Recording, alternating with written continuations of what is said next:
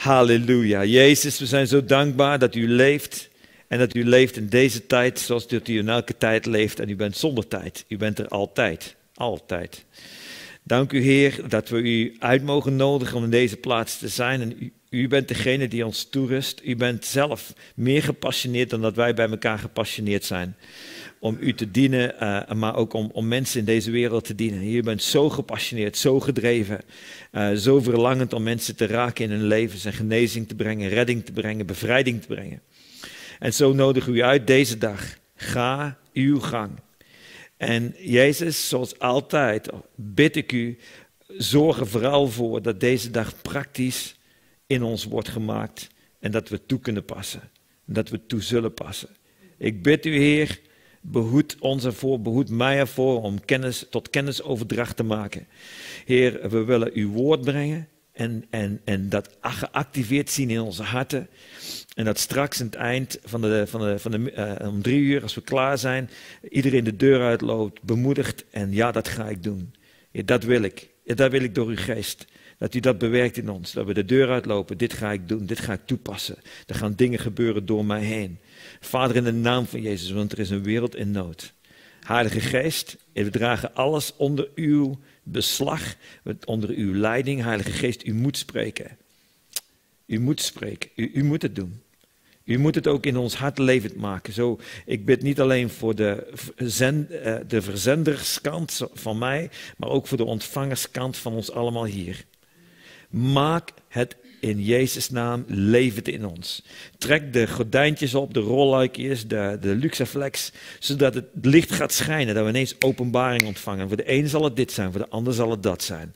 Maar laat er openbaring komen, zodat we het gaan doen. In uw naam, Jezus. Glorie. Amen. Zo, so, uh, dat is dus gelijk de doelstelling van deze scholen, is, uh, is dat je het gaat doen. De doelstelling uh, de eerste doelstelling van deze school. En 23 april, schrijf het maar op, 23 april zullen we weer een school hebben hier in deze plaats. Die zal langer duren. Ik zou zeggen, reserveer heel de zaterdag. Want we hopen eigenlijk ook s'avonds gelijk dan een, dienst een samenkomst te gaan doen. Um, overigens, uh, we verlangen ook om één keer per maand gewoon een worshipavond te hebben. Alleen maar worship en gewoon te zien wat de Heilige Geest doet. Uh, maar dat is weer iets anders. Um, maar uh, dus 23 april, en dat zullen we doen samen met Jaap en Astrid Veddes van Des Terrain. Dus dan zullen we hier met twee bedieningen samen zijn. Eén verslater duizend, twee verslater tienduizend. Dus we verwachten grote kracht die daar doorheen vrijgezet wordt. Uh, doorheen deze zaterdag van vandaag, maar ook van de, in de toekomst is, wat we willen is meer zelfvertrouwen in jou bouwen dat jij het kunt doen. We willen meer zelfvertrouwen in jou bouwen, dat je gaat zien, ja, ik ben werkelijk door God aangesteld en geroepen om het te doen.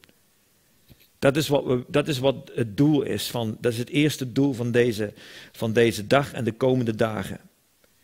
Zelfvertrouwen in jou bouwen, dat jij het kunt, dat jij kunt bedienen, dat jij kunt voor mensen bidden, dat er wonderen gebeuren, dat mensen aangeraakt worden. En in de eerste plaats in jouw persoonlijke sfeer, dat is eigenlijk eh, mijn e-, doelstelling nummer één van mij, is dat, dat je dit gaat doen dus in je persoonlijke sfeer. Je gezin, is je kind ziek, is je kleinkind ziek, je vrouw, je man, je collega, je buurman, iemand op straat die je ontmoet, iemand in de winkel die valt. Wat ook de situatie is, het zijn allemaal opportunities, allemaal kansen om te bedienen. Om Jezus in mensen te brengen. In de tweede, en, en, en wat we ook uiteindelijk willen, eh, ook in deze gemeente, hè, ik, uh, Roel is van een, een, andere gemeente, de rest, Anton ook van een andere gemeente, de rest van deze gemeente. Maar wat we uiteindelijk ook zoeken is in deze gemeente een team samen te stellen, of een groep samen te stellen van mensen die we ook in de gemeente zeg maar, willen laten bidden voor anderen. Dus, uh, maar goed, dat is, dus, dat is ook waar deze training is. Daarom nemen we het ook op. Dus welkom ook als je dit later kijkt. Het is niet online live, maar als je het later bekijkt, en je bekijkt het later, dan willen we ook jou toerusten daarmee. Um, en het tweede, um, het tweede van deze dag is dat je begrip krijgt van wat dienen is. Wat is nou eigenlijk dienen? En hoe belangrijk dit is. Wat is dienen en hoe belangrijk is het om te dienen? Het is interessant dat, uh, dat ik, ik het idee heb dat we ergens doorheen de tijd iets kwijt zijn geraakt met betrekking tot het aspect van dienen. Dat het, uh, dat het lijkt alsof um, iedereen maar op het podium wil staan.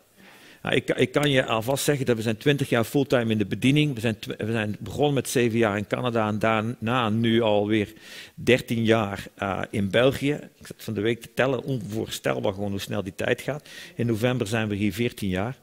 En, uh, en um, ik kan je alvast zeggen dat het niet romantisch is. Het is, het is een eer om Jezus te dienen. Maar het is niet romantisch. Ik, ik wil je vragen om het niet tot een doel te maken in je leven dat je ooit op het podium mag staan. Ik wil vragen dat je tot je doel maakt in je leven om Jezus te dienen en dan zal Hij bepalen waar je komt te staan. Ik zal je zo zeggen, ik heb destijds tegen Jezus gezegd, ik, een aantal dingen verteld die ik niet wil. Ik wil niet uh, in, een bediening leiden, ik wil niet een voorganger worden. Laat mij maar gewoon ergens tweede man zijn, dan kan zij kunnen verantwoording dragen, kan ik gewoon mee dienen. Ik heb altijd eigenlijk gewoon willen dienen. En dan, dan heb je een stuk verantwoording niet. En God heeft op een gegeven moment, en op een gegeven moment heb ik dat ook teruggetrokken. Na een aantal weken heb ik gezegd: Oké, Heer, ik heb niet het recht om u te, bepalen, u te zeggen wat u met mijn leven gaat doen. U, u moet bepalen wat u met mijn leven doet. En, um, dus, maar ik wil je vragen om het tot je doel te maken om te dienen. En um, wat, wat, we eerst gaan doen is, uh, we gaan kijken naar uh, dienstbaarheid en trouw in dienen. Ik heb daar een paar kopietjes voor uitgedraaid. Het zijn drie bladzijden. Die, ja, Annick doet het uit. Um, en de, de tekst die ik zou willen dat je opzoekt is uh, Matthäus 20, vers 28. Matthäus 20, vers 28.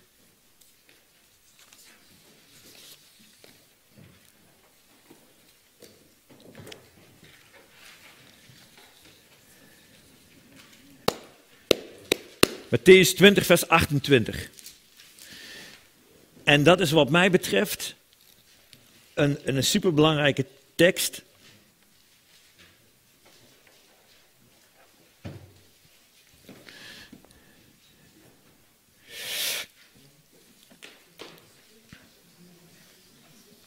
En dat vormt eigenlijk een beetje voor deze dag de basistekst. Deze eerste sessie wil ik met jullie echt praten over het karakteraspect, ons karakter in Christus.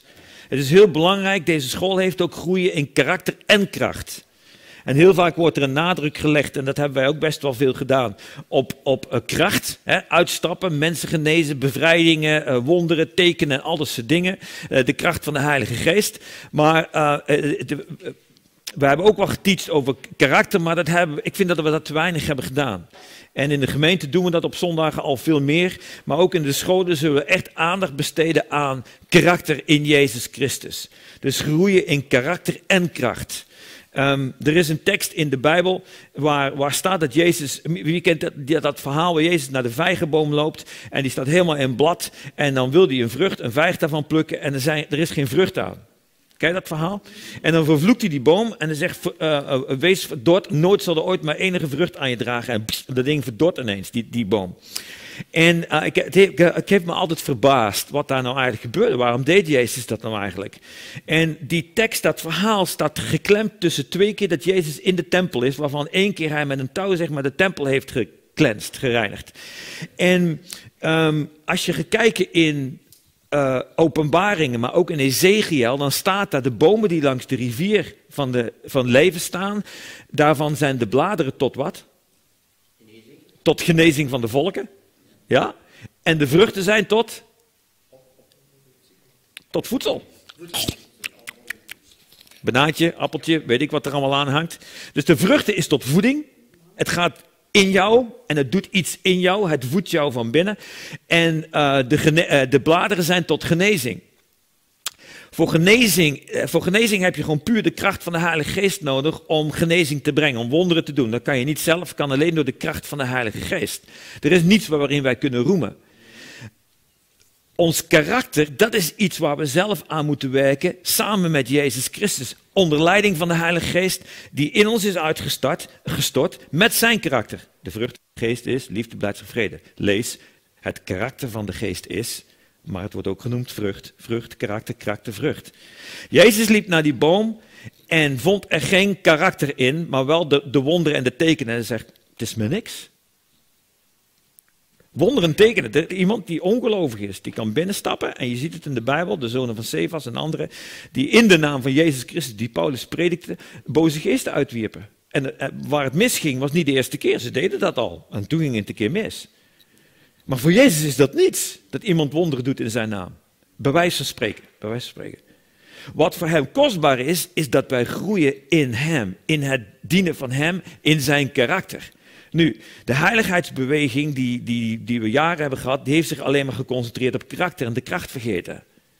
De andere beweging heeft zich heel veel gericht op de kracht, maar heeft het karakter verwaarloosd. Maar het moet allebei. We moeten groeien, die vrucht moet groeien in ons leven, het karakter van Jezus. Maar ook de kracht, daar moeten we in uitstappen, zodat God zijn wonderen kan doen. Oké, wat, wat, lezen we hier? Ons grote voorbeeld in alles is, is Jezus. Het is goed om, om mensen na te volgen in deze wereld, om te zien wat ze doen, mannen en vrouwen voor God. En, je, en Paulus zegt, let vooral op het einde van hun wandel. Maar het is beter om Jezus als voorbeeld in je leven te gebruiken. En daar heb je de Bijbel voor nodig. Lees de Bijbel. Daar ga ik morgen ook over spreken, over de kracht van het woord van God. Als alles goed gaat. Zoals ook de zoon, oh, vers 28 dus van Matthäus 20. Dit is een van mijn favoriete teksten. Laten we eerst in vers 27 beginnen. Wie onder u de eerste wil zijn, die moet uw slaaf zijn of dienaar zijn. Het Griekse woord voor slaaf kan je vertalen met slaaf en dienaar. Uh, doulos is dat geloof ik. En wie onder u dus de eerste wil zijn, die moet uw slaaf zijn. Ik ken voorbeelden in de wereld van mensen die, uh, die de eerste willen zijn, die krachtig zijn ook in de bediening, maar absoluut geen dienaar zijn. Die gewoon echt uh, dat gebruiken om, uh, om voor zichzelf ook. Um, maar hier komt Jezus het voorbeeld, vers 28. Zoals ook de zoon van de mensen niet gekomen is om gediend te worden. Dat is vreemd, hè? Maar om te dienen en zijn leven te geven als losprijs voor velen. Zoals ook de zoon des mensen niet gekomen is om gediend te worden, maar om te dienen en zijn leven te geven als een losprijs voor velen. Dat is ons voorbeeld.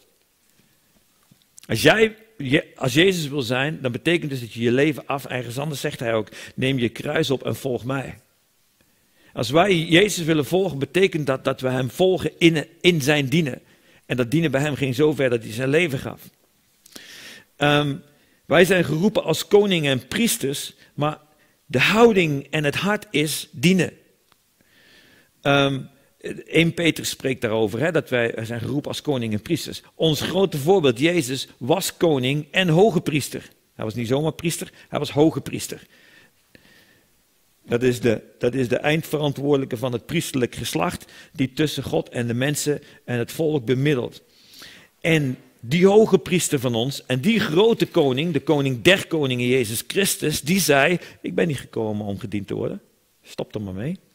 Ik ben gekomen om te dienen en mijn leven te geven als een losprijs voor velen, staat hier. Dat betekent voor velen wordt het effectief, maar het is een losprijs die hij betaald heeft voor iedereen. Iedereen kan die losprijs aanvaarden en gered worden. Alleen het is effectief voor velen geworden. Dus trek niet de conclusie dat, dat hij niet dat gedaan heeft voor iedereen. Oké, waarom dienen? Waarom, waarom dienen? Waarom dienen wij? Dus ik ben op de eerste bladzijde van het documentje dienstbaarheid en trouw in dienen. Oké. Uh, we hebben een situatie voorafgaande aan deze tekst waar Jezus aan het rondlopen is. En ik denk dat dat een van de voorrechten was van de discipelen, dat ze de kans hadden met Jezus te wandelen en, uh, en, en de wonderen te zien. En ze werden zelf ingezet en, en allerlei dingen. Ik zou trouwens willen aanbevelen, kijk naar The Chosen. De serie The Chosen. Fantastische serie. Hier en daar misschien, misschien dat je zegt, mm, uh, maar een fantastische serie. Uh, over, over de discipelen die daar samen met Jezus meewandelden en waar Jezus geweldige wonderen en tekenen deed en de discipelen ook. En je ziet op een gegeven moment dat ze aan het wandelen zijn op weg naar een volgende plaats en dat Jezus op een gegeven moment tegen hen zegt, voorwaar, voorwaar, de zoon des mensen die moet lijden. Uh, ze zullen komen om de zoon des mensen, om mij uh, te halen, gevangen te nemen. Ze zullen mij slaan met, uh, met zweep en mijn lichaam kapot slaan. En vervolgens zullen ze mij doden. Maar op de derde dag zal ik opstaan. Oké, voor zover we weten uit de evangelie heeft hij dat minstens drie keer gezegd. Drie keer. Dit was, dit was volgens mij de derde keer dat hij het zei. Twee van die drie keer is er een onmiddellijke reactie bij de discipelen, die hetzelfde is. Weet iemand wat?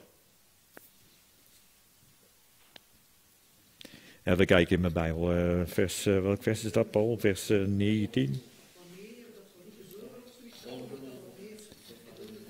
Nee, we hebben één situatie waar Petrus Jezus begint te bestraffen. Volgens mij was het de eerste keer. De tweede en de derde keer kwam er een discussie onder de discipelen. Ja, wie de eerste zou zijn. Die dachten van, Jezus gaat dood, dan moet er een andere leider komen. Dus even kijken, dat ben ik hè. Dat ben ik, zei Petrus. Nee, nee, zei Johannes, waarom moet jij dat nou zijn? Jij bent altijd een haantje ervoor, maar het gaat allemaal niet zo lekker bij jou. Je struikelt regelmatig, je bent een beetje impulsief, Petrus. We hebben iemand nodig aan het, aan het hoofd van dit team die aan Jezus' borst ligt. Die echt geliefd is door Jezus. En, en ik wil niks over mezelf zeggen.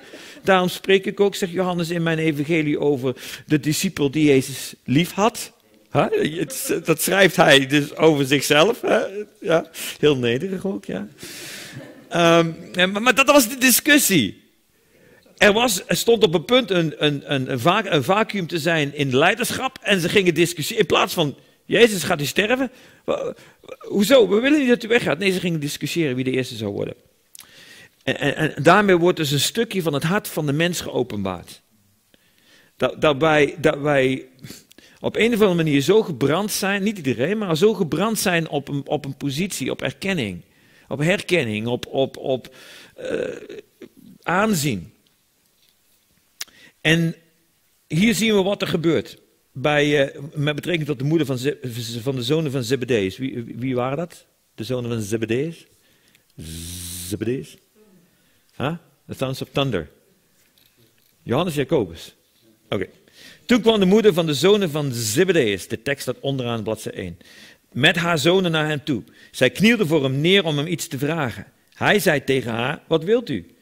Ze zei tegen hem, zeg dat deze... Hoe krijg het van elkaar? Okay. Zeg dat deze twee zonen van mij mogen zitten, de een aan uw rechter en de ander aan uw linkerkant in uw koninkrijk. Ja, hij had juist gezegd dat hij zou sterven, dat hij terug zou gaan eh, naar de vader in zijn koninkrijk. Ja, dan moeten we maar gelijk even regelen dat mijn zonen bij jou naast je troon zitten. Oké, kunnen we dat nu doen voordat je dood bent? Oké. Maar Jezus antwoordde en zei, u weet niet wat u vraagt wij hebben eigenlijk niet echt een idee wat, wat, wat, wij, wat we vragen soms. Kunt u de drinkbeker drinken die ik drinken zal en met de doop gedoopt worden waarmee ik gedoopt word? Ze zeiden tegen hem, dat kunnen wij. Oké. En hij zei tegen hem, een drinkbeker zult u wel drinken en met de doop waarmee ik gedoopt word, zult u gedoopt worden. Met andere woorden, Jezus zei in de tuin van de pijn, laat deze beker aan mij voorbij gaan. Dat was de beker van ellende die over hem zou komen. En hij zegt hier, jullie zullen ook die drinkbeker wel drinken. Jullie zullen, hè, Jacobus is, was de eerste die gedood werd. Omwille van het evangelie in handelingen. Hij was de allereerste apostel die gedood werd. Gedood werd. Daarna pas Stefan, uh, zeg ik het nou goed? Nee, Stefanus was de eerste en de eerste apostel was Jacobus. Maar het zitten aan mijn rechter en aan mijn linkerhand is niet aan mij om te geven. Het zal gegeven worden aan wie? Aan hen voor wie het bestemd is door mijn vader. En toen de andere tien dit hoorden, namen zij de twee broers kwalijk. Hoppakee, weer ruzie.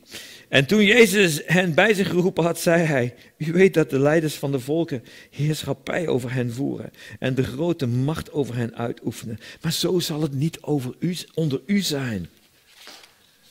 Maar wie onder u groot wil zijn, die moet uw dienaar zijn. Wie onder u groot wil zijn, die moet uw dienaar zijn. Als jij begeert om leiding te geven, dan begeer je iets goed, zegt Paulus ergens. Maar weet dan wel dat je een plek begeert die betekent dat je dient.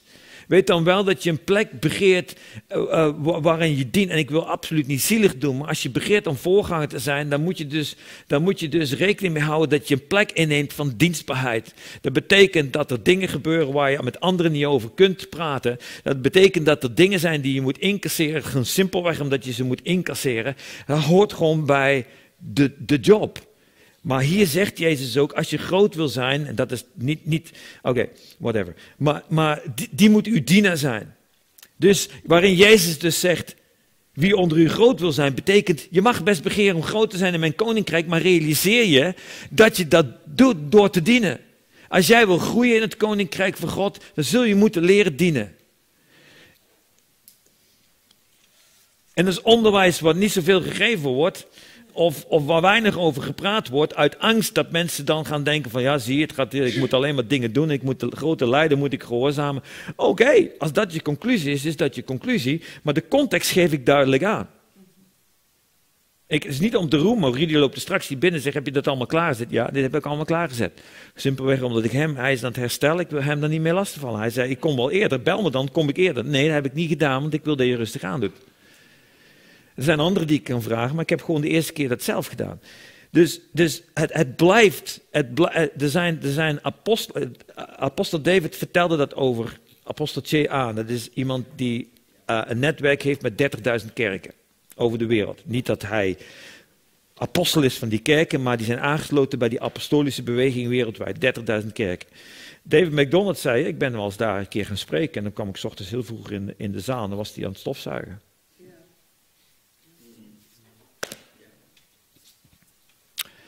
Dus niet dat, dat, dat de bedoeling is dat hij dat stofzuigen gaat doen, maar ik, ik, volgens mij zei David er ook iets over, dat je aan het ook bewust doet om ook, om ook zich, naar zichzelf te blijven communiceren dat ik, dat ik nog steeds een dienaar ben. Dus als je groot wil zijn, is prima in het koninkrijk van God, maar je bent groot door te dienen. Die moet uw dienaar zijn. Wie, vers 27, wie onder u de eerste wil zijn, die moet uw dienaar zijn. Dus eerst te worden door te dienen. Zoals ook de zoon des mensen niet gekomen is om gediend te worden, maar om te dienen en zijn ziel te geven tot losprijs voor velen. Tekst waarmee we begonnen zijn. Velen gered door te dienen en zijn leven te geven. Jezus heeft door de ultieme dienstbaarheid die niemand van ons ooit zal kunnen doen, al, zouden we een perfect leven leiden, dan nog is het lijden wat Jezus op zich heeft genomen, is boven, buiten proporties. is eigenlijk absurd. Ik zag van de week nog een stukje van Jim Caviezel die Jezus heeft gespeeld in The Passion of the Christ. En die zegt daarin, hij zegt, um, eigenlijk zegt hij, hebben we op een gegeven moment een streep moeten trekken.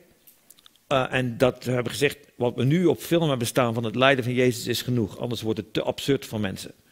Hij zegt maar, het lijden van Jezus was nog veel erger, want er staat dat hij niet meer om aan te zien was. Niet meer herkenbaar. Hij was totaal niet meer herken, herkenbaar naar het lijden wat hij had ondergaan. Dat is nogal wat. Dat wil je niet meemaken. Ik vond dit trouwens al uh, aardig storend, aardig... Ik weet dat ik in Canada zaten wij in de bioscoop toen die film uitkwam. En, uh, en, en ze waren me aan het slaan. En op een gegeven moment, had, op een gegeven moment had ik uh, handen op de, op de armleuning en wilde ik opstaan om te roepen, het is genoeg. Zo zat ik daarin. En zo, ik was het, ik, het was gewoon genoeg. Het was genoeg. En, en, en toch stond Jezus op een gegeven moment weer op, want het was nog niet genoeg. Dat is dus de dienende Jezus. Um, en hij heeft daardoor velen gered. Oké, hier is het concept. Door te dienen breekt de opwekking uit. Door te dienen breekt de opwekking uit. Hoe kun je dienen? Wel, je kunt wel degelijk dienen. Door op de, markt mensen handen op te leggen en de lammen, eh, de lammen staan uit de rolstoel en de kankers vallen af en doden worden opgewekt. Maar als jij vervolgens een. Ik zeg dit gewoon oud, in die open. Als jij vervolgens een Facebookpagina opent waar je alle filmpjes op zet van jouw getuigenissen, dan vind ik op zich nog steeds getuigenissen moeten verteld worden. Dat doen we al, bijna altijd. Eigenlijk wilde ik er nu ook mee beginnen, maar ik begon alweer te babbelen. Maar, maar, maar uh, getuigenissen moeten gedeeld worden, maar er ligt zo'n fine line, er ligt zo'n subtiele lijn waar het een getuigenis is en waar het op een gegeven moment een presentatie wordt van heel subtiel van. Mm, Mm. Mm. Heel subtiel. En we zijn er allemaal vatbaar voor. Iedereen is er vatbaar voor. Wacht maar tot de grote dingen gebeuren. We zijn er allemaal vatbaar voor. We kunnen beter nu. Zeg, zeg maar, ik ben daar vatbaar voor. Ik ben daar vatbaar voor. Ik weet dat ik daar vatbaar voor En weet je waar het mee te maken heeft? Wat de wortel daarvan is? Identiteit. Onzekerheid over wie je bent. Als je onzeker bent over wie jij bent, heb je het nodig dat mensen zien wat je doet. Omdat als mensen zien wat je doet, dan krijg je bevestiging daarvan van kijk, ik ben iemand. Maar als je niet uitkijkt, ben je die grote boom vol met bladeren, wonderen en tekenen, genezingen. Maar het karakter is verwaarloosd, want je bent de eer naar jou toe gaan trekken. En dat maakt de, dat maakt de vrucht rot, dat maakt het karakter rot. En, en daarom proberen wij ook, ook, denk ik, bijna altijd de getuigenissen zo te, te vertellen dat, dat Jezus daarin centraal staat. Je moet getuigenissen delen. Ik wil het ook niet laten stelen omdat het mis kan gaan. Alleen we zullen waakzaam moeten zijn met hoe we het doen. En dat ons hart daarin richt is. En als je merkt, ik heb een getuigenis gedeeld en je bent thuis of je weet ik het wat. En je merkt van, Heer, eigenlijk was ik een stuk, toch een stuk mezelf aan het presenteren. Spijt mij. Is genoeg. Is genoeg. Dat houdt je scherp. Dan ben je bezig met je hart dienend te houden aan Jezus Christus en te blijven erkennen, ik ben maar een schepsel, u bent de schep, schepper. Dat, dat is, dit is zo belangrijk in, in het, als, eh, eh, als wij gaan leren bedienen. En wij zullen allemaal wonderen gaan meemaken. Dat is ook onze passie van deze school. Is echt dat, dat, dat een, een lichaam van Christus wordt geactiveerd. We, we ontmoeten namelijk allemaal mensen. We ontmoeten allemaal mensen, onverwacht, soms gepland. En al die mensen hebben wel een nood. Nou, je kunt niet voor iedereen bedienen en bidden. Maar die situaties doen zich voor. Maar we laten heel veel schieten, omdat we bang zijn. Omdat we niet weten wat we moeten doen. En daar is dit voor.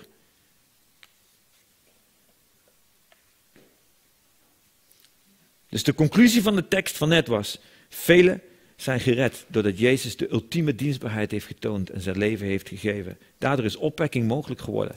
En doorheen de geschiedenis hebben we diverse opwekkingen gezien. En we, zijn, we staan gewoon aan de vooravond van doorbraken in Nederland en België.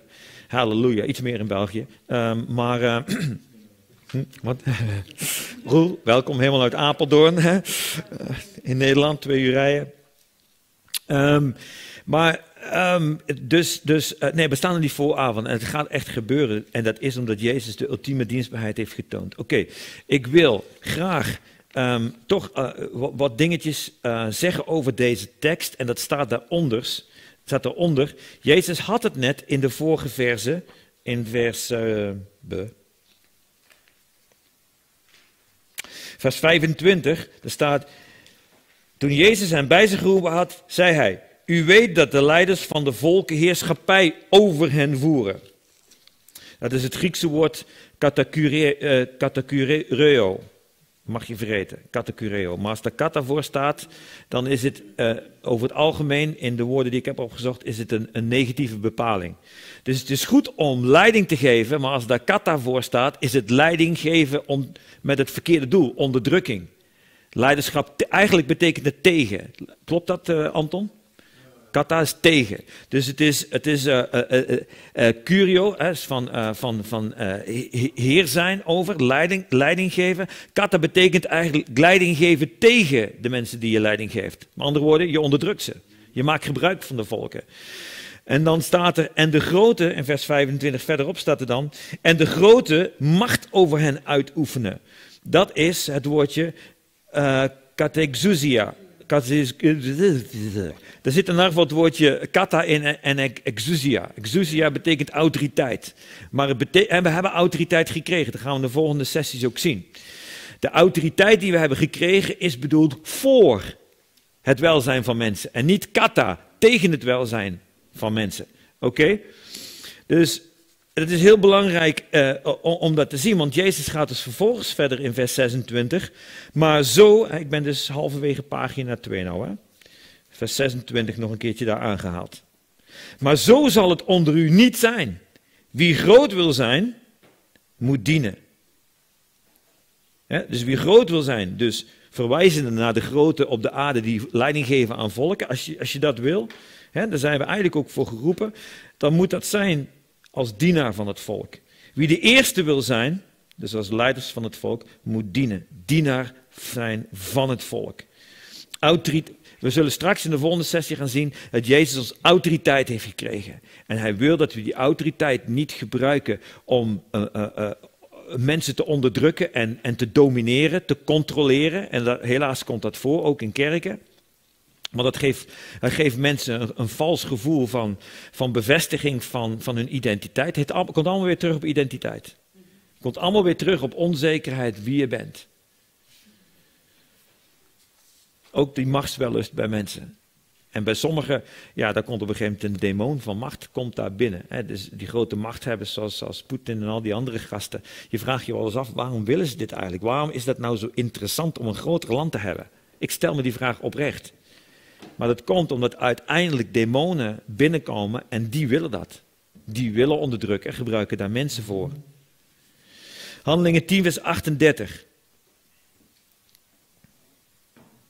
En eh, die, mag, die staat daar wel, maar die mag je voor mij opzoeken, dat je hem aanstreept in je Bijbel. Dat is voor mij zeg maar top nummer 1 tekst over genezingsbediening en over het dienen. Mama Syria Rabashandala Bandasik. Shela Baba Lieso. Halleluja. Malabeyesh Kutumusande. Dabra Shakikilianda. Handelingen 10 vers 38. Ja, staat in je Bijbel. Um, daar staat dit. Wie kent hem uit zijn hoofd? Rita, ken je hem nog uit je hoofd? Huh?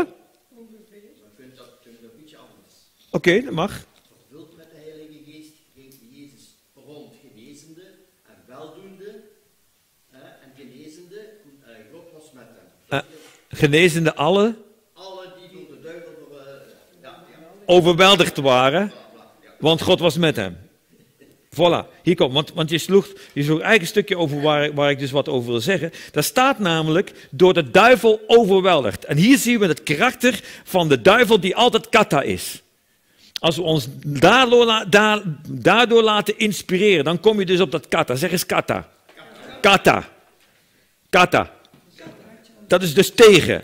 Dat is iets goeds wat God heeft, gebruik je tegen mensen in plaats van voor mensen. Daarom, Jezus, Jezus die onderstreept, die, die, ik, ik weet dat ik herhaal, maar dat geeft niks. Jezus onderstreept dus het karakter van dienstbaarheid, van leiding geven en van autoriteit. Hij associeert dat met dienen.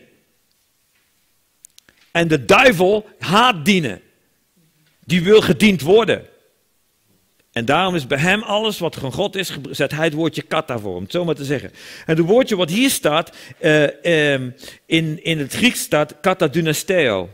Dynasteo komt van het woord dynamis. Dynamis betekent kracht. In de Bijbel wordt dat heel vaak geassocieerd met de heilige, wanneer de Heilige Geest over u komt, handelingen 1 vers 8, zult u, zult u kracht ontvangen. Kracht ontvangen dat is het woordje dynamis. En um, en dat komt dus van het werkwoord, uh, uh, wat is het hele werkwoord daarvan? Uh, ik moet nou uitkijken wat ik zeg, hè, want hier, hier staat dus dynasteo. Um, en dat, dat is dus het werkwoord kracht uitoefenen.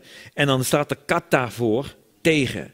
De duivel heeft ook kracht. De duivel kan trucjes uithalen. Hij kan wonderen doen, hij kan genezingen doen, hij kan zelfs zogenaamde bevrijdingen geven. Ja, no problem. Het lijkt alsof iemand bevrijd wordt van een autistische geest of van een andere geest. En die wordt onderdrukt of die wordt zelfs buiten geschopt, door, maar gewoon door een andere demon die sterker is. Zegt, nu is het mijn plek. En ja, we hebben een bevrijding. Nee, we hebben geen bevrijding. We hebben liegende en valse wonderen en tekenen van de tegenstander. De Bijbel spreekt daarover. Sabrabarashinde. Want wat de duivel wil doen, is iedereen overweldigen. Hij wil kracht uitoefenen, kata, tegen mensen. Jezus is gekomen om mensen daar juist vrij van te maken door te dienen. Voilà. Doordat Jezus is gekomen als de hoogste koning en is gegaan tot de laagste plaatsen in de hel, daarmee heeft hij laten zien wat werkelijk dienstbaarheid is. En dat is een soort dienstbaarheid die mij de pet te boven gaat en die ik nooit zal halen. En die we nooit zullen hoeven kunnen halen. Maar dat is een, dat is een niveau van dienstbaarheid die, die, die goddelijk is. Maar hij deed het als mens. Shadraba Sendekianda. Dus Jezus ging rond om goed te doen en te genezen. Alle. Alle. Ja?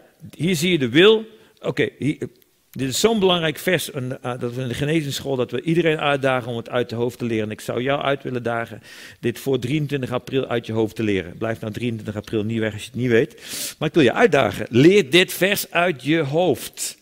Leer het uit je hoofd. We hebben de namen van wie er is. We gaan het wel gewoon dan vragen. Je krijgt een papiertje en dan mag je het opschrijven. Nee, maar zonder gekheid. Leer het vers uit je hoofd. Je kunt het. Ja, vindt zo moeilijk. Oké, dat geeft niks. Doe er iets langer over. Maar leer het uit je hoofd. Want de principes zijn hier legio. En om te beginnen zien we hier wie de ziekmaker is. De duivel. Dat doet hij door kracht uit te oefenen tegen. Onderdrukken noem je dat. Ja, door ziekte, door mentale ziektes, door uh, emotioneel, depressies, angsten, uh, noem maar op. Dat zijn de meest vuile onderdrukkingen zijn in, de, in het denken van mensen. Omdat ze het vaak niet in de gaten hebben. Dat ze onderdrukt worden met negatieve gedachten over zichzelf. En, en maar worstelen, en maar vechten. Oké, okay, dus de duivel is de ziekmaker volgens dit vers. Want er staat, Jezus genas alle. Hij genas iedereen die door de duivel overweldigd was. Zijn wil is dus om iedereen te genezen. Hij genas iedereen die bij hem kwam. Hij genas niet iedereen. De man bij de poort in Handelingen 3, daar heeft Jezus ook langs gelopen. Maar die man heeft nooit naar Jezus uitgeroepen, Heer genees mij. Zoals de twee blinden bij Jericho. Daarom is hij niet genezen. Maar iedereen die bij Jezus kwam, zoek maar een voorbeeld waar het niet zo is, werd genezen door hem. Altijd. Dus het is altijd zijn wil om te genezen. Alle. En wie is de geneesheer? Volgens dit vers, Jezus Christus. Jezus Christus is de geneesheer. De drie belangrijke principes, en er zijn er nog veel meer in dit, in dit vers, is uh, uh, de duivel is de ziekmaker, de onderdrukker. En Jezus is de geneesheer en hij wil het altijd. En dan zien we ook dat er hier staat dat hij goed deed en alle die ziek waren genas. Dus hij deed ook goed. Hij deed ook andere wonderen. Hij vermenigvuldigde het brood en, en veranderde de wijn in het water. Er waren toen veel Italianen daar, die hebben staan juichen. En, hè? Water, water in wijn, zeg ik iets anders? Dus hij veranderde water in wijn. Hij, hij, uh, um, hij, hij liep op het water, hij, kalmeerde, hij zei dat de storm moest stoppen. Hij deed allerlei wonderen en tekenen, hij deed goed. En het is de bedoeling van ons, als we willen dienen en bedienen, dat we altijd dat hart hebben om goed te doen aan mensen. Dat is de bedoeling. Jezus ging rond om goed te doen. Dus als wij zijn voorbeeld volgen, gaan wij rond om goed te doen. En ik wil gelijk het bedienen eventjes trekken in een ontspannen plek. Voor sommigen van jullie is het een brug te ver om te zeggen: Oké, ik ga voortaan voor de zieken bidden. Dat vind je te eng, dat vind je te moeilijk en daarom doe je het allemaal maar niet. Dat kan. Dus waar we deze dag ook op richten, is niet alleen maar genezingsbediening, maar is bediening in zijn meest brede zin. En daarbij hoort dienstbaarheid. En dienstbaarheid is, is, is van alles wat we maar kunnen bedenken. Maar als we op het moment dat we iemand op straat tegenkomen die heeft nood, of die valt in de winkel of wat dan ook, en wat voor situatie er dan ook is, kun je voor die persoon iets betekenen zonder dat je daar genezing over moet bidden. Snap je? Dus ik wil daarmee een ontspannen. Ik heb liever dat je nog niet gelooft dat je dat kan, maar dat je wel voor iemand bidt dat hij een aanraking van Jezus krijgt, dan dat er een druk op je gaat liggen van als ik voor iemand bid, moet je ook genezen, dan moet ik bidden voor genezing, dat doe ik niet. Ah, en je doet niks. Ik heb liever dat je stap 1 doet en toegroeit naar stap 2 en naar stap 3 en uiteindelijk stap 4 is doden opwekken. Huh? Huh? Ja? Ik heb liever dat je die volgorde pakt, dan dat je denkt dat we aan het toerusten zijn, dat je doden moet opwekken. Ja, dat is me te moeilijk. Ik ga er echt niet aan beginnen. Ik, dat is te veel druk, dat kan ik niet, dus stop. Maar wat iedereen kan, is iemand een hand geven. Zeg, mag ik voor je bidden? In de naam van Jezus. En bijna iedereen zegt ja. En je begint gewoon te bidden voor die persoon. En, en je laat gewoon de Heilige Geest werken. Weet je, het, het, het, goed, daar komen we straks op. Maar de Heilige Geest is in mij. Ik, ik hoef, ik, het enige wat ik moet doen is contact leggen en woorden spreken, want ik ben Jezus zijn mond. Ik ben Jezus zijn handen, ik ben Jezus zijn voeten. Maar hij woont in mij en hij doet wat ik niet kan. Ik heb zoiets van geloof is 100% vertrouwen op de Heilige Geest. Dat is het ook. Het is 100% vertrouwen op dat de Heilige Geest kan. En wij zijn zo op onszelf gefocust dat we dat vaak vergeten. Oké, voorbeeld van dienen, omdat de meester zelf dient. Voetwassing. Onderaan bladzijde 2.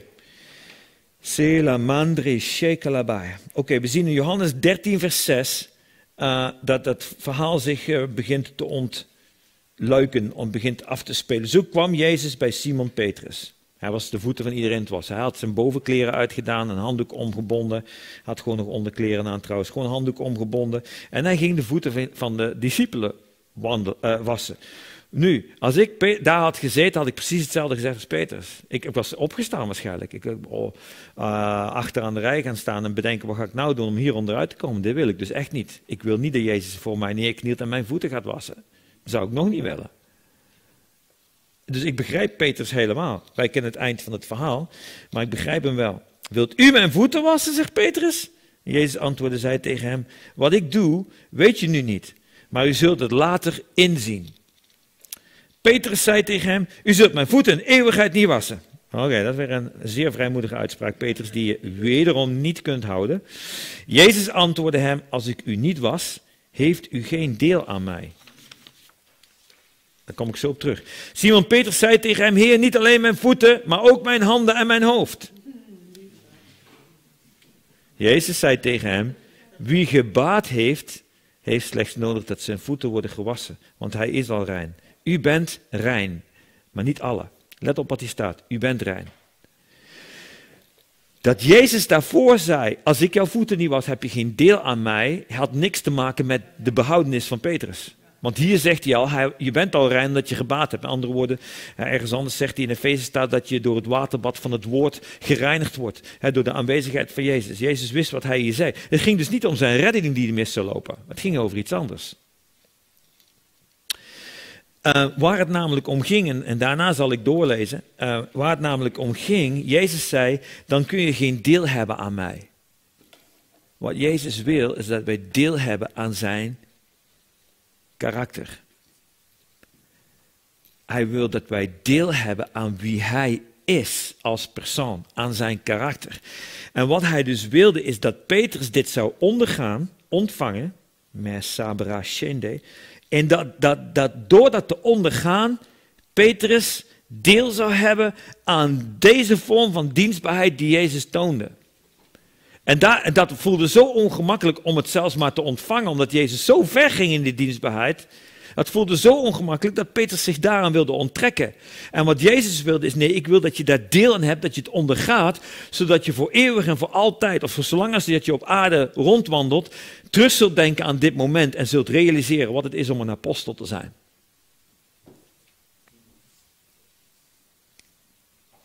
An. Is dat te maken met dat eerst zelf ervaren om het dan te kunnen doorgeven? Um, ik, ik, ja, dat zou je zo kunnen zeggen. Ja. Het zelf zeer, eerst te, ervaren, te ondergaan, je eigenlijk te onderwerpen aan dat Jezus zeer ongemakkelijk jou kon dienen. Dat is erg ongemakkelijk hoor. Ik weet niet, je moet je maar eens een moment voorstellen dat jij hier op een stoel zit en Jezus komt binnenwandelen, doet zijn bovenkleed af, God en doet een handdoek om, heeft een teltje water en zegt, wil je ik vind het al ongemakkelijk als om het even wie het doet bij mij. Dat vind ik al ongemakkelijk. Laat staan dat Jezus dat komt doen. In, in, in San Francisco waar een keer en iemand ging dat doen. Oh, ik heb het zo lang mogelijk uitgesteld, maar uiteindelijk was, was ik de eind van de rij. Ja, en, en ik, ja. Dus wij moeten daar dat ondergaan, de dienstbaarheid van Jezus, omdat hij wil dat we deel hebben aan dat karakter van dienstbaarheid.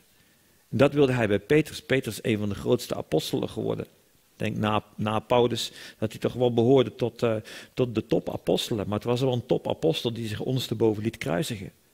Ze wilden hem kruisigen. Hij zei, nee, ik wil niet sterven zoals mijn Heer heeft, is gestorven. Dat is me te veel eer. Toen hebben ze hem ondersteboven gekruisigd.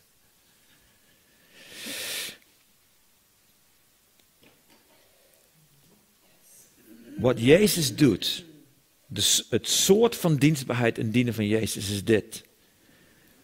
Wat hij ook doet in jouw leven. Wat hij doet is knielen, met zijn handen onder jouw voeten gaan, als het ware, en de voeten wassen en jou optellen in jouw bestemming. En je helpen om in je bestemming te wandelen. Nu, jij kunt dat stoppen door het gewoon niet te doen, dat is iets anders. Maar dit is wat het karakter van Jezus is. En dit is het karakter van als je mensen gaat bedienen. Dit is het karakter uh, wat leiders moeten hebben. Is dat het hun doel is om mensen in een bestemming te brengen. Dat zien we wat Jezus doet. Was Jezus daar een haar minder door geworden? Nee, het, het, het, geeft zelfs meer indruk over wie hij is.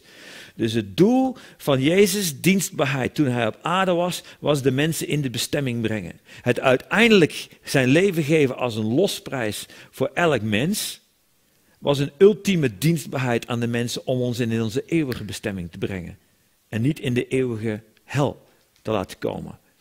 Dus je ziet dat wat, alles wat Jezus doet een dienstbaarheid is aan de mens om ons in onze bestemming te brengen. Zowel hier op aarde als later, straks als we bij de Heer zijn en voor eeuwig zullen leven. En dat vraagt dienstbaarheid. En dat is dus het karakter van leiders, maar dat is ook het karakter wat we met elkaar moeten hebben. Als je geen leider officieel bent in de kerk, kun je toch leiding geven door te dienen. En je op straat kun je leiding geven door initiatief te nemen. Als je ziet, uh, dat was een tijd geleden dat Aniek en, bij de Lilde iemand, een vrouw op de grond, die was gevallen. En ze naartoe ging, geloof ik, en dat je daarvoor gebeden hebt. Het zijn gewoon simpele mogelijkheden om de liefde te... Jezus zou exact hetzelfde gedaan hebben. Ik herinner me een boekje van Adrian Plass over, uh, over het bezoek van, van, van, de, van de Christus, van Jezus. Het is een ontroerend, prachtig boekje. En op een gegeven moment moet Adrian Plass, die alles georganiseerd heeft en alles moet volgens de organisatiestructuur, gaat met Jezus naar een afspraak toe waar hij met oudsten en voorgangers moet spreken. En op een gegeven moment bij de metro is hij Jezus kwijt. Oh, nee, ze lopen op een gegeven moment langs een man. Die staat daar te bedelen en die heeft dan die heeft één arm, maar die mee staat te bedelen. En de andere is gewoon een colbertje met een afgeknipte mouw, want hij heeft geen arm meer. En op een gegeven moment, uh, ze lopen daar langs. En uh, Edith zegt, opschieten Jezus, we moeten naar de afspraak toe. En dus Jezus, en op een gegeven moment, hij loopt door en op een gegeven moment kijkt hij opzij en Jezus is weg. En is Jezus nou weer? En hij gaat Jezus. Op een gegeven moment komt Jezus eraan met dat colbertje met, uh, met maar één arm. Ken je, het verhaal? Ja, ja. Oh, het is zo ontroerend. Het is echt een prachtig boekje. En uh, dan zegt hij, wat, wat heb je nou weer gedaan? We hebben zometeen een afspraak. Heb je die man jouw colbert gegeven? Heeft u toch helemaal niet nodig? Heeft maar één arm. En toen zegt Jezus, nee, ik, ik, ik, ik, hij heeft twee armen en ik kon hem niet daar laten staan met een kapot colbertje. Ja. Ik weet niet hoe, heet het de ontmoeting? De ontmoeting of zo voor Adrian Plass. Adrian Plass. Ik weet niet eens of het nog te krijgen is. Ik heb, ben het zelf ook kwijt, ik ben uitgeleend en weg is het. Maar het is, het is een van de meest ontroerende boekjes. Echt, zeg maar, gewoon zo echt geschreven. En, en de schrijver zelf, die is de hoofdpersoon ook in veel van zijn boekjes, met een hele grote dosis gezonde zelfspot. Waarmee hij vooral zichzelf, zeg maar, over zijn hart. En, en een fantastische manier van lesgeven, wat hij eigenlijk doet daarin. Ja, dat is een stripverhaal. Oké. Ehm, goed, waar ben ik? Ja, dus, je, dus Jezus gaat verder de. Um, Oké, dan vers 16 sluit hij af. Voorwaar, voorwaar, ik zeg u. Um, wat, wat, zei hij? Uh, uh, een dienaar is niet meer dan zijn Heer en een gezant niet meer. Niet meer dan hij die hem gezonden heeft. Oh, dat is een heftige. Dus als jij leiding wil geven en wil zijn als Jezus, dan ben je niet meer dan hij. Dat betekent, wat hij daarmee zegt, is, dat betekent dus dat je moet dienen. Zoals ik gediend heb en je bent niet daarvan vrijgesteld, want ik was er ook niet van vrijgesteld. Is wat Jezus zegt. Voorwaar, voorwaar, ik zeg u, een dienaar is niet meer dan zijn Heer en een gezant niet meer dan hij die hem gezonden heeft. Jezus diende vanuit de voeten, daar moet je voor knielen. Oké, opvallend verschil tussen aards en hemels leiderschap. Ook bij de tweede aankondiging van zijn sterven en lijden, discussie bij de discipelen wie dan de eerste zal zijn. Het antwoord van Jezus. Daarop is vervolgens, en dat kun je lezen in Marcus 9, uh, maar het staat hier op het papier. En hij ging zitten, riep de twaalf en zei tegen hen, als iemand de eerste wil zijn, moet hij de laatste van allen zijn en een dienaar van allen. En hij nam een kind, zette dat in hun midden en omarmde het en zei tegen hen, wie een van zulke kinderen ontvangt in mijn naam, die ontvangt mij. En wie mij ontvangt, die ontvangt niet mij, maar hem die mij gezonden heeft. Halleluja. Dus als iemand de eerste wil zijn, moet hij de laatste van allen zijn en een dienaar van allen. Waarom dienen?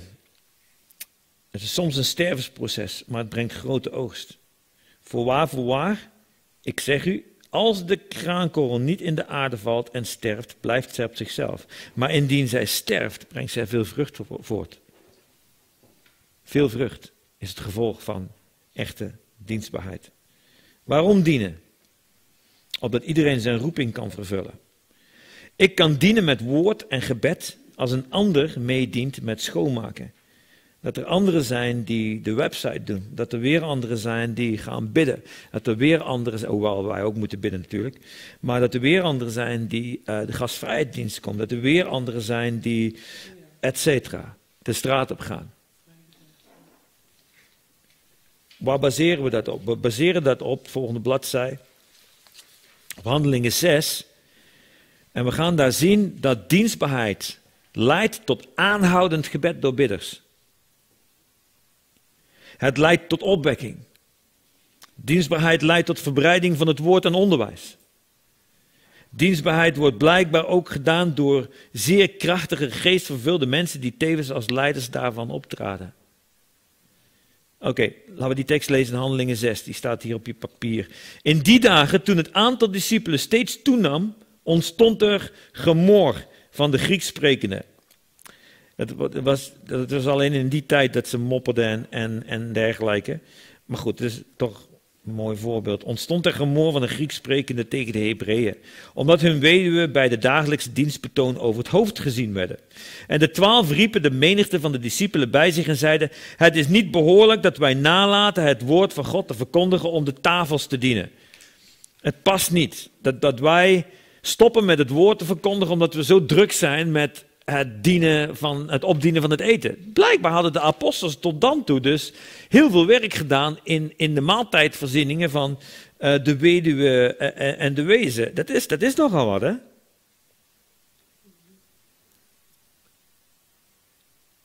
Zie daarom uit, broeders, naar zeven mannen uit uw midden, van wie men een goed getuigenis geeft, vol van de Heilige Geest en van wijsheid.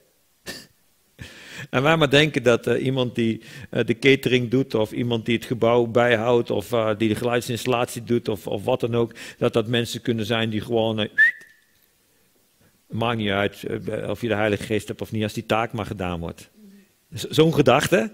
Ik zeg, ik zeg maar even hardop hoe dat soms functioneert. Wij noemen het ook geen taak, het is een bediening. We, we proberen hier niet te spreken over taken en taken doen. We proberen hier te spreken over je bent aan het dienen, aan het bedienen. Als je koffie maakt, dan bedien je de mensen die zin hebben een kopje koffie aan het eind van de dienst. Dankjewel Ingrid voor het theewater en de koffie op te zetten. Dat is wat ze nu net heeft gedaan. Ik ga iets langer door, uh, omdat ik uh, iets langer doorga. Um,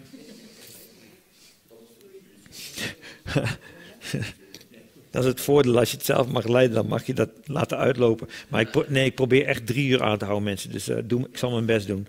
Um, maar, um, dus, dus, dus, het gaat om be bedienen. Het is een bediening. En wat ik, wat ik hier zo mooi vind, is dat er mannen worden aangesteld. En er staat er die vol van de Heilige Geest en van wijsheid zijn.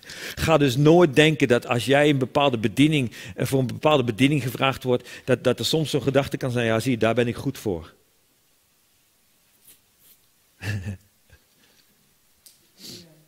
dus dat, dat, dat, kan ik wel doen. Nee, we hebben deze school. Ik had gewild dat de zaal bomvol zat. En ik heb bij deze school om je toe te rusten dat je voor veel meer geroepen bent dan dat. Maar het hoort er wel bij, lieve mensen. Het hoort er gewoon bij, Rita.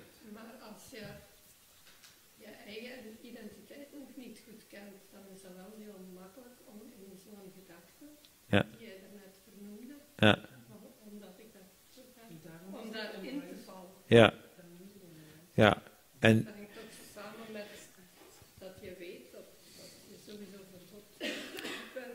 bent, geliefd bent. Ja. Ja, dus, uh, dus uh, voor de opname Rita zegt, dus uh, het is wel makkelijk als je je identiteit niet kent, dat je daar wel in zo'n gedachte gaat vallen. Dus dat je in zo'n gedachte, dat zo'n gedachte dus een valstrik wordt. Daarom moeten we die gedachte ook noemen. Dat die spelen.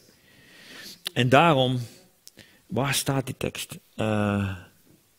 Wat gij ook doet in woord en in werk, doet dat alles in de naam van de Heer, God de Vader, dankende door Hem.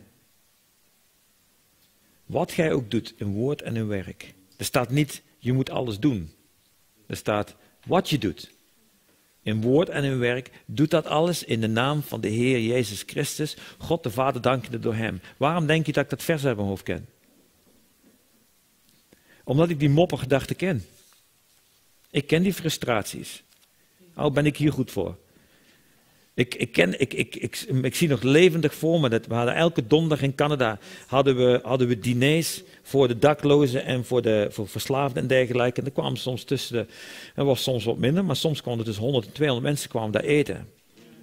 En uh, er, was, er, was, een team die dan het eten verzorgde. Ik bedoel, deed dat met een heel team. Maar het schoonmaken werd niet door het hele team gedaan. Dat was Paul die dan de vloer stond af te schrapen met platgetrapte uh, aard, aardbeien, uh, kauwgommen en aardappelen. En, en, en ik stond tot nog heel laat, stond ik de vloer te dweilen. En mopperen soms, jongen, mopperen. Kijk, hier, iedereen is weg en dit kan Paul weer doen. Hier ben ik goed voor. Wow, wow, wow, wow, wow. Ja, ik was een topdienaar.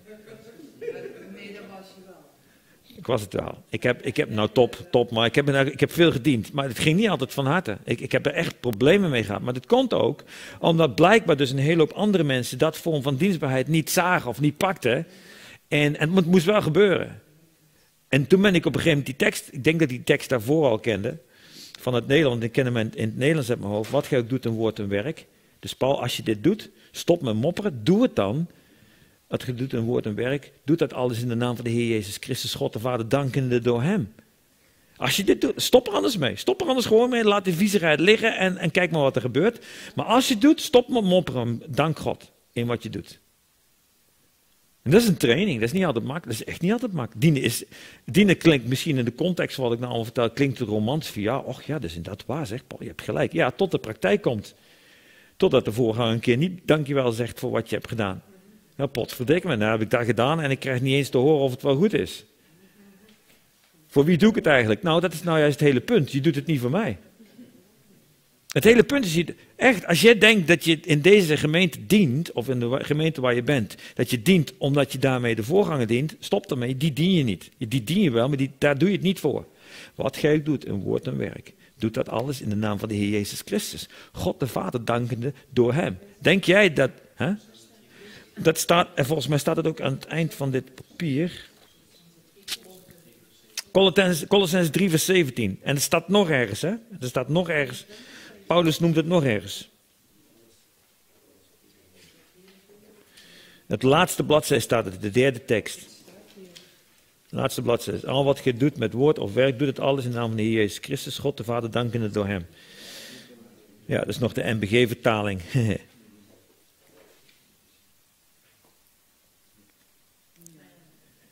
Dus eh, even die tekst op die laatste bladzijde dan, die tekst die daarboven staat, Johannes 12, vers 26. Als iemand mij dient, wat staat daar?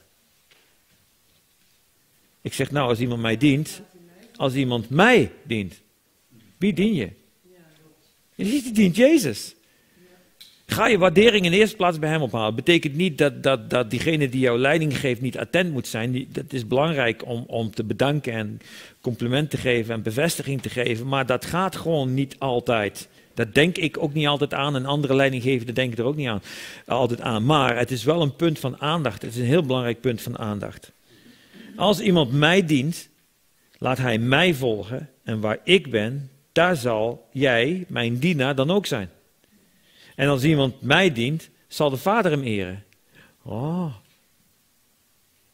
Ah. Ah.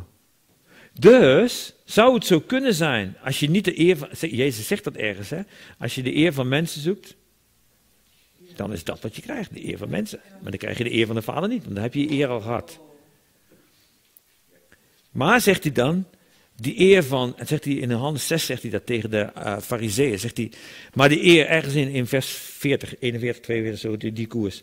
Dan zegt hij, maar de eer die van de Vader komt, die zoek je niet. Hij zegt ook, jullie zoeken de schriften, jullie zoeken de schriften uh, naar leven, maar jullie komen niet bij mij. En ik ben het leven, zegt hij. En Jezus zegt, en jullie, maar jullie zoeken wel de eer die van mensen komt. Ja, mooi onderwijs geven en dergelijke. En, en interessante, hoogdravende wijsheden uit de Bijbel openbaren. Kijk eens hoe goed ik het allemaal in de gaten heb. En, en, en, uh, en, en dan eer van mensen ontvangen. Maar zegt Jezus, de eer die van mij komt, die zoek je niet. Er is dus blijkbaar eer die van, die van God komt, die je kunt zoeken. En weet je hoe de beste manier is om dat te zoeken? Dat je werkelijk de dingen die je doet, doe je voor Hem.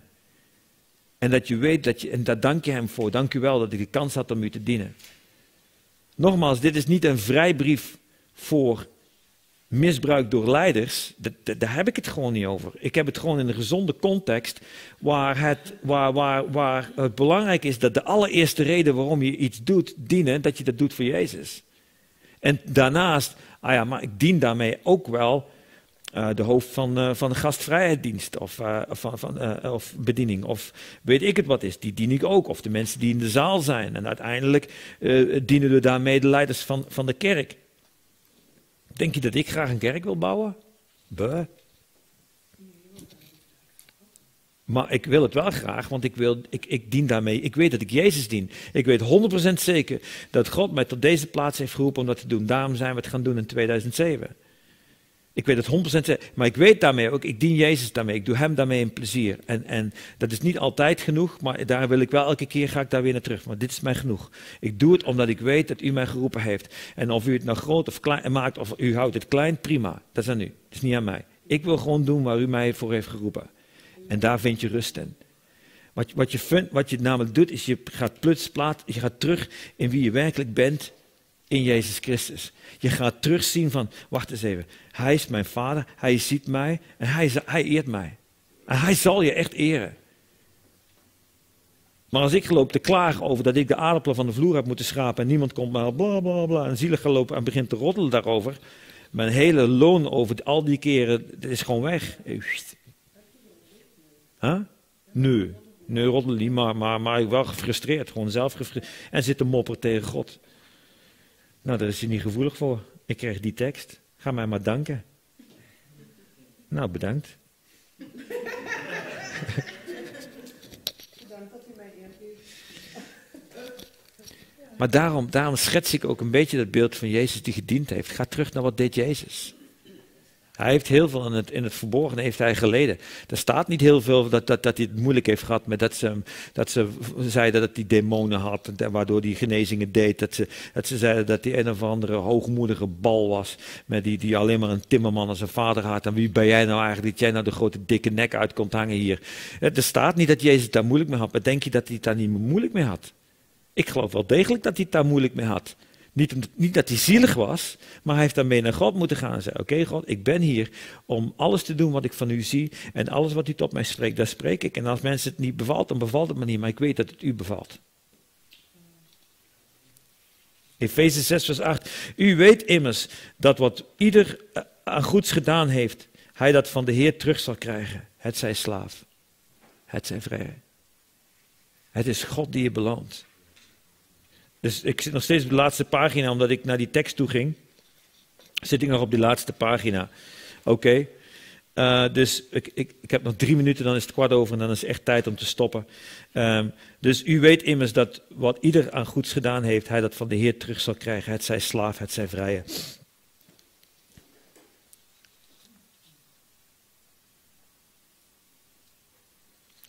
En dan die tekst daaronder in Hebreeën 9.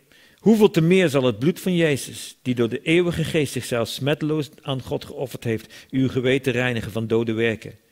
Om, om, om, met het doel dat je de levende God gaat dienen.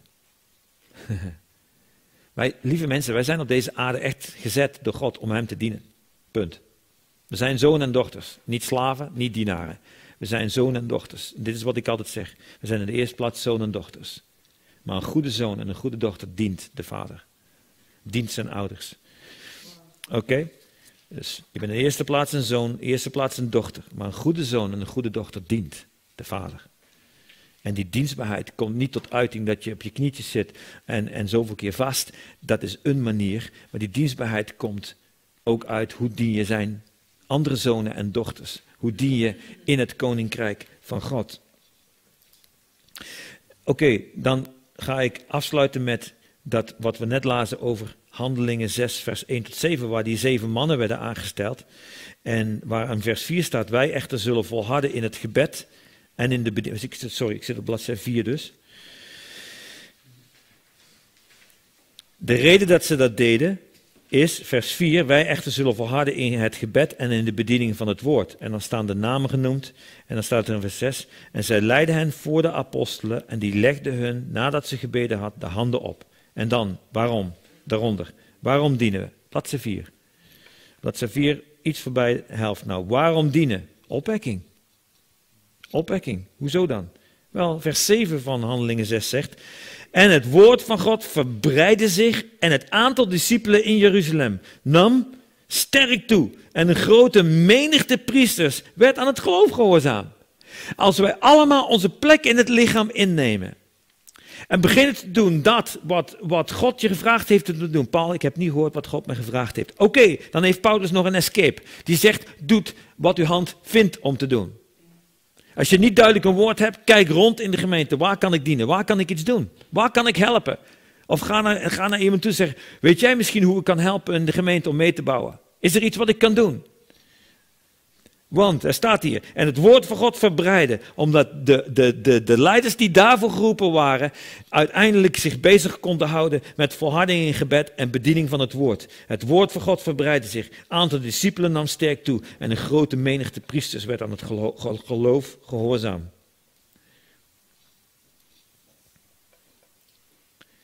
En dan onderaan de tekst. En alles wat, onderaan het bladzijde dus, en alles wat u doet, doe dat van harte.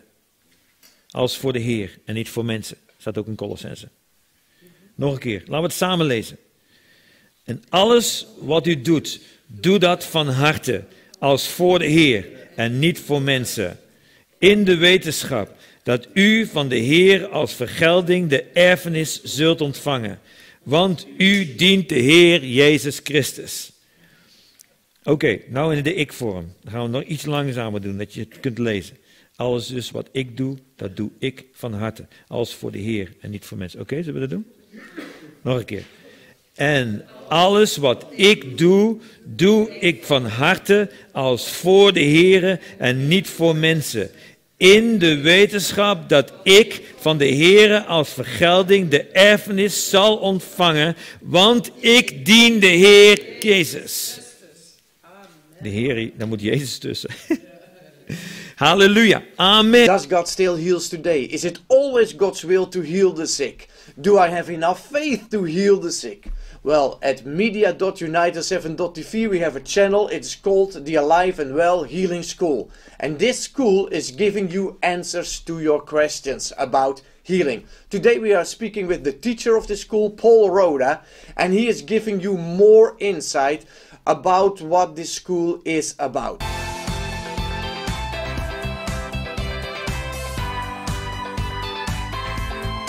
What I would love to talk about is one of the tests that God has given you, or what has triggered you to speak about a lot, and that is healing. Yes. And you also have a school. It uh, Yes. is calling the Healing School.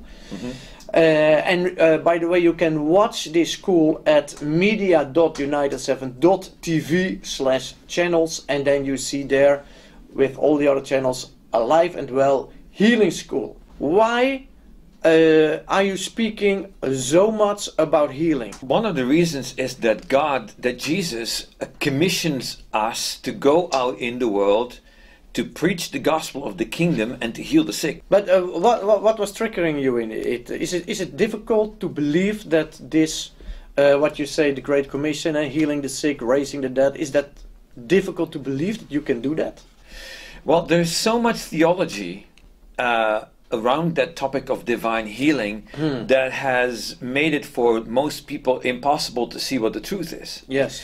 Uh, because what we basically did throughout the centuries is create a theology to explain why people do not heal. Yeah. And some other theologies say, well, when the, the apostles died, you know, the gifts and the supernatural Yes. uh, uh, died, stopped. Uh, that's that's in the theology, but, but so it's uh, not for us anymore. that, is- that is not for the, the time that we live in Yeah. now. Well, I- I don't I don't know if there's ever been a time that people were more sick than now. Exactly. Um, and with and I'm not only speaking just to clarify that healing is not only physical, No. it's also emotional, Yeah, it's spiritual. That's salvation. It's relational in your relationships. It's financial. It's in your finances. It's in in in your well-being Every part of your life. every uh, part of your life. So um, it is it is a wonderful way to to to show tangibly show the love that Jesus has for people, Yeah. and then often after that, the step to receive Jesus as your Savior is easier. Yeah. Not always, but often it is. So, do you believe that everybody who is sick can be healed. Absolutely. Absolutely. Um, it is God's absolute will to heal. Actually, everyone is already healed by the, s- the by the suffering of Jesus Christ. See, he, here we touch here we touch a very important topic that I struggled with before I stepped could step into the ministry of healing the sick. Yes. Yeah, it is one of the topics also that you are dealing with in the school. A lot. A lot, yeah, that that God really wants to heal everybody. Yes. I just wrote down three questions to search from Scripture. Yes. One, can God heal? Yeah. Two, does He still heal in these days? Yes. Three, what is God's will with regards to healing? Well, Yes. can God heal? Go to Genesis 1, verse 1. Yeah. In the beginning, God created heaven and earth. Well, if you, from the unseen, can create the seen world, the whole world, the universe, and everything, I mean, you can do anything that Yeah. you like to do. So, God, can He heal? Yes. The It's scripture is full with miracles, signs. Yeah. It's a supernatural word of God. I mean, if you say the supernatural time is over, throw away your Bible because. okay, anyway, so second question Does he still heal? Yes, Reinhard Bonke, uh, uh, Benny Hinn, all those missionaries in Africa. Yes. And Yeah, but also in your personal life, I, I can imagine you have testimonies. I did, I did have some testimonies back then, and also from the church where I uh, went to, we, we saw we saw healings happen. So Mm-hmm. Yes. I did see it, um, but I was still wondering, like, what? How do I know what is God's will? So that was my third question. Yeah. and um, and and I, I, I, I, couldn't find the answer. I mean, I studied theology in Belgium and, and Heverlee, Yeah. um, but but I couldn't find the answer. I only came to those conditional scriptures. Yeah, if yes. my word is in you and you stay in me, ask of me what you want, and it Yeah. will happen. Yeah. And so more of those if if scriptures. If you do that, then that. And so whenever I prayed for someone, nothing happened. I thought, well, I'm not enough in the word. The word is not enough for me. I'm not enough in Jesus. Mm-hmm. Still work to do. This is why I spent so much time in, in the Alive and Well Healing School Yeah. explaining God's will about healing from many different angles, from the Old Testament and New Testament, Mm. word studies, Hebrew word studies, Greek word studies, but also the ministry of Jesus, the ministry in the Old Testament, many different angles. We study what is God's will. And but it all starts with the suffering of Jesus. And Mm. I picked up a healing evangelist in 2001 from the train station because Yes. they were going to have, together with a colleague of him, they were going to have healing meetings for Mm. a week in our church. And in the car, I asked this question because it was, I couldn't find the answer. Yes. I asked this question how do we know if it's God's will to heal? Yeah. I mean, in general, we can know because we see it in the Word and it happens in the world. yes. But how do I know for every sick person? So this guy said, when Jesus died on the cross, for did he die for everyone or just a few? I said, no, that was his blood for every single person, Yeah. and the Bible says that God wants everyone to come To be to salvation. Yeah. And while I was talking, Wow. it was suddenly opening up, and I was like, the stripes. Yeah. Before Jesus went to the cross, Yeah. he was hit with a whip, Yeah. a terrible whip with, with iron metal stuff, and they just beat him up terribly. And the Bible says, by those stripes, Yeah. you were healed. Healed. Peter says, First Peter two twenty seven says, uh, twenty four says, you were healed. Healed. That's why already done. It's already done. Amen. So now, from that moment on, I knew God wants to heal everyone. But one of the major questions that you hear a lot is um, who has to have faith? Is it the one who is coming or is it the one who is praying? So the one who is coming for healing, does he or she has to have faith? Or is it only depending on the faith of the one who is praying? And my question is, are these kind of questions answered in this healing school? Oh yes, absolutely, they are answered. I remember a, a, police officer in Holland, and we had a healing meeting, uh, uh, uh, just a Sunday meeting, but we, we talked about healing. And he came and he said, I damaged my hand. I Mm-hmm. cannot do my job because I cannot hold my weapons and stuff. And we are in trouble because we are renovating a house. I cannot finish it. And we Yeah. just live with a whole family in two rooms uh, in my parents' place. So, but he said, I have a problem. I said, what? He said, I, I cannot believe this is true. I, can, I, I hear you. I see it in the word. Yeah. But I cannot bring up the faith. I said, Yeah. that's okay. I have faith for two. Wow. I can have faith for you. Yes. So let me pray for you. Is that what you want? He said, Yes. You know, the fact that he came is still faith, but he didn't Yes. recognize it. He came, he gave it a, a chance. You know, he, he Yes. came to Jesus to receive something that he thought he didn't believe. So, so there was still a, kind of expectation There is in still his heart expectation. that when he comes, something will happen. something will happen, yes. I don't know what, but something will happen. Exactly. Wow, exactly. amazing. And so we prayed for him. We, Yeah. we actually, when I, I just often say the word pray, but it is ministering healing. I just command healing. Yeah. I say in Jesus' name, Mm-hmm. I command your hand to be made whole. Mm. And and he just started moving it. The pain left. I don't remember what the situation was, but the pain left. Next day, he went back to his to his uh, station and he, went back to his job. Could Yes. finish the renovation of his house. He was completely healed. Wow. Now, the interesting thing with this whole topic is that I have seen people getting healed that had no faith at all. And that in other situations where where we fasted and we pray, that we still didn't see it break through. Is this school helping people also to deal with this kind of yes. questions and doubts that because it raises doubt when you are so praying and fasting for someone and nothing happens. So One of the things is what the devil always wants to do is have you focus on what seemingly doesn't happen. Sometimes it is happening, but Mm. Yeah. it takes time. Yeah. But we we abort it, we damage it, we stop it by the words that we speak. Oh, nothing happened. You know, we pray, but nothing happened, and we we just cancel the the word of healing that we spoke. So sometimes it's because of our actions, our words, that we stop a healing that is in progress. Hmm. But there's other situations that we just don't see it break through. And what the devil wants to do is have you focus on what doesn't happen. What God wants us to do is thank Him and stay focused on what we see God do. Exactly.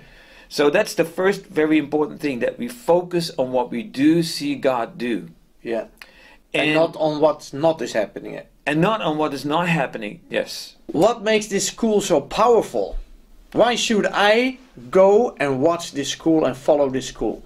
Now that's a great question. I like that question. First of all, as healing schools based upon the Word of God. The Word of God is our number one. And we do not want to lower the standard of the Word of God hmm. to my level of experience. Exactly. So, what we have done with theology is just lower the theology, uh, uh, lower the Word of God through our theology to Yeah. explain our circumstances Yes.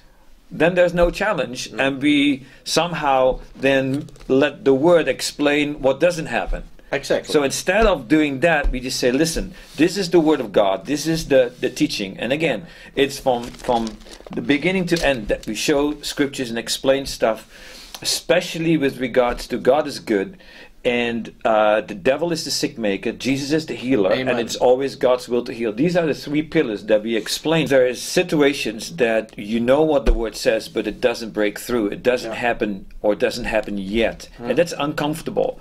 But we do not want to lower the word then to try to explain my uncomfortable situation. Exactly. we say no we need to change not the word of god. The word of god is the word of god and we need to grow into maturity into what the Word of God says. The second thing is that we really need to encourage people that they can do it. yeah. Another powerful thing of this school, I believe, is that we are honest. Hmm. You know, we share honest about disappointments, discouragements. Yes, Uh, exactly. You know, I had my situations uh, when we were in Denmark, and, and I prayed for people, and, and one after another didn't heal. Didn't uh, that I knew. I couldn't. I see we all have those experiences. and I just was looking for the exit sign Yeah. and for the washroom. So I went Yeah. to the washroom to, to complain.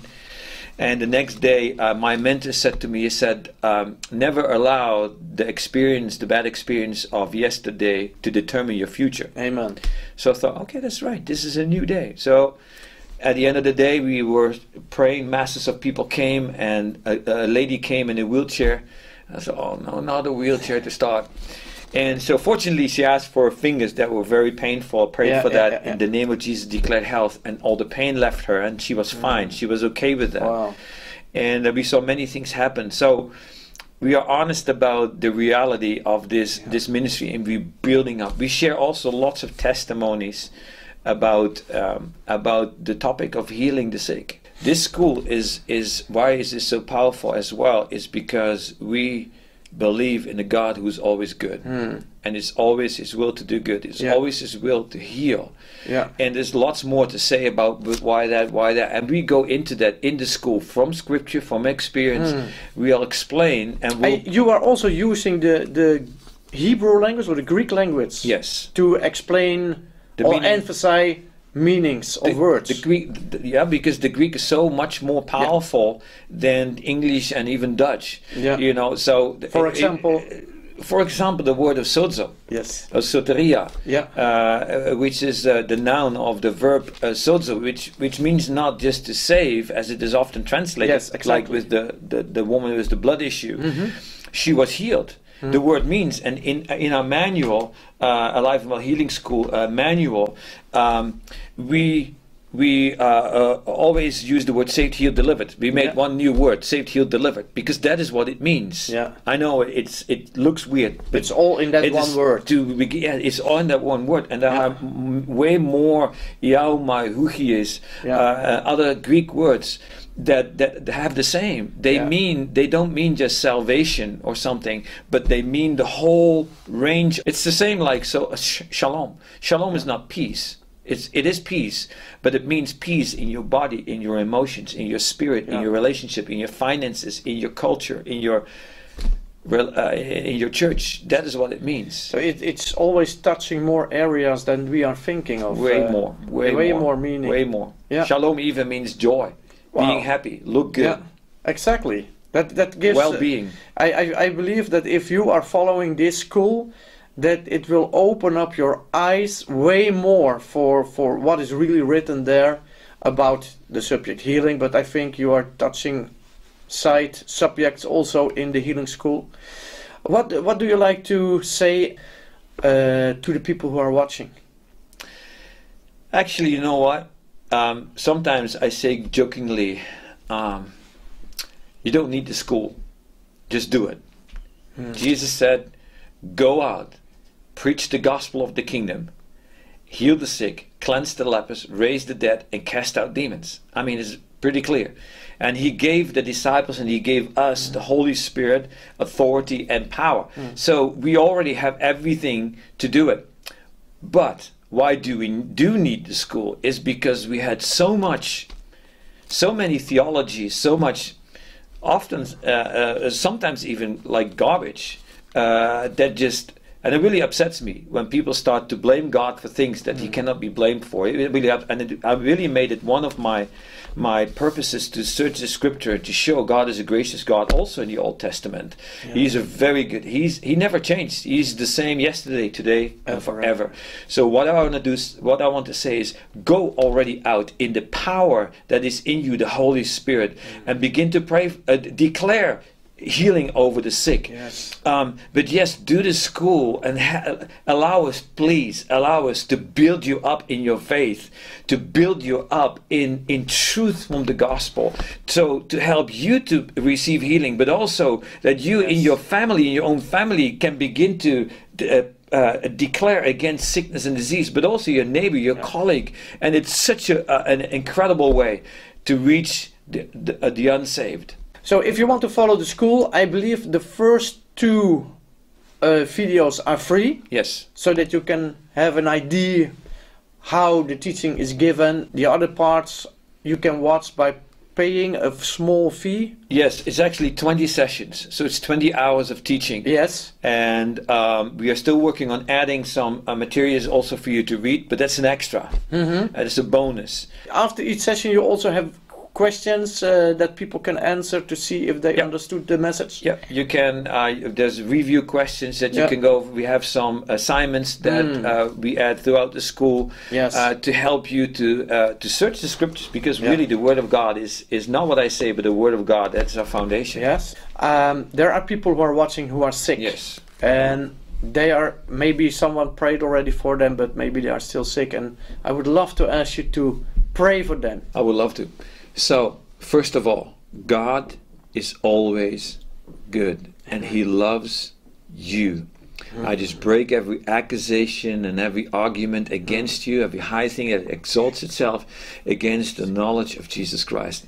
I break that over you in Jesus' name. And if something is in your head like, yeah, but you don't know the sin I did, you know, uh, just just say, Jesus, forgive me my sin, please. Just say it. Jesus, forgive me my sin. If you want to receive Jesus, say after me. Jesus, Jesus, I open my heart. I open my heart. I open my life for you. I open my life for you. Come and live in my life, Jesus. Come and live in my life, Jesus. Forgive me my sins, please. Forgive me my sins, please. I believe that you died for me. I believe that you died for me. And I believe that you rose from the dead. And I believe that you rose from the dead. Thank you for saving me. Thank you for saving me. Amen. Amen. All right. So God is always good. He loves you. Yes. It's His absolute will to heal you, even right now. And I believe it will just flow in you. So I want. I would like to ask you, put your hand where you're sick. If you have a headache, or uh, there's some that have a cluster headache, Badirishende. you have cluster headaches, attacks, migraine attacks in the name of Jesus. I see some of you have. Uh, there's one of you you fell from a ladder and uh, you hurt your side and I, uh, your kidney is touched by that too is damaged by that. And you have lots of pain. It, it, it comes and it goes. Jesus wants to set you free. There's someone here and you walked and you strained your ankle and it has been a while. Um, it, it was on a on a on a um, uh, sidewalk. It wasn't. It was on a sidewalk that you uh, that you tripped and you fell, and it has been a while, and it, it seems like it doesn't want to heal. Well, it's going to heal now in the name of Jesus Christ. So uh, there's some of you that have uh, with the bones, with the joints in the fingers and the hand, uh, you have it's swollen and it's painful. You need to forgive. One of the most powerful things you can do to to receive healing, and that's actually often blocking healing, is you need to forgive others that hurt you. Please forgive. Stop the past from destroying your future. Mm. Stop the past mm. from destroying your future. So put your mm. hand somewhere and, and where you're sick. Even if I didn't mention your condition, it doesn't matter. God knows your condition. He wants to heal you, and He's able to everything, to do everything. So right now, in the name of Jesus, I command you sickness and disease, loose this person right now. Loose everyone that wants to receive healing right now. I command you go for Yes. the blood and the stripes Yes. of Jesus Christ. Yes. Holy Spirit, I thank you that you bring life in the bones, life in the kidneys, with life in the heart, life in the blood. As we cleansing over the blood, that your blood begins to become normal and has everything that needs to be in there. I command everything to come back in balance in Jesus' name. I rebuke that migraine and that cluster headache in the name of Jesus Christ. I command the ankle to be restored in Jesus' name. Hallelujah. In the name of Jesus. In the name of Jesus. Thank you for your stripes, Lord Jesus. Thank you for your great love. thank And I want to ask you now, and, and we, we will conclude this this broadcast. I want to ask you just check your check your ankle. Just go stand up, check your ankle, check your uh, foot, check your uh, uh, your head, whatever it is. Do something. Act upon your faith and upon my faith in Jesus' name. And please send us your testimony. Yes, hallelujah.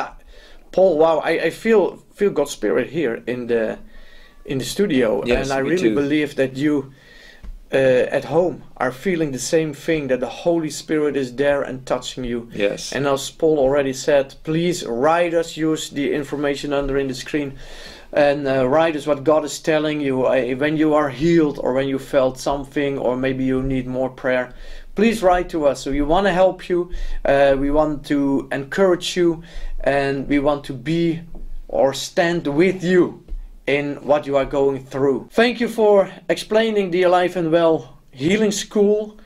And if you have watched this interview, then I really encourage you to at least go to the first uh, videos who are free, the first two, watch them, and then, yeah, for 37 euro, I would say please follow the whole school. It can encourage you, it will encourage you, and I truly believe that if you have covered the whole school, that it also will help you to to to be set free in I would say ministry of healing, but it is really the ministry of the Holy Spirit through you who is doing that, but that you can go out into the area that you are living in, meeting people who are sick, pray for them, and only expect them to be healed.